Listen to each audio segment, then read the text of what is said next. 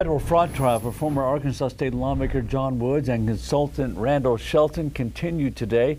The jury heard from Nackaman Williams, a representative from Walmart Foundation. Williams testified that the Walmart Foundation repeatedly denied offering grants to Ecclesia College in Springdale.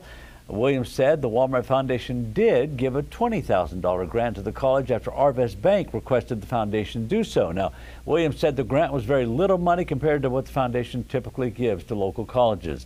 The trial continues tomorrow.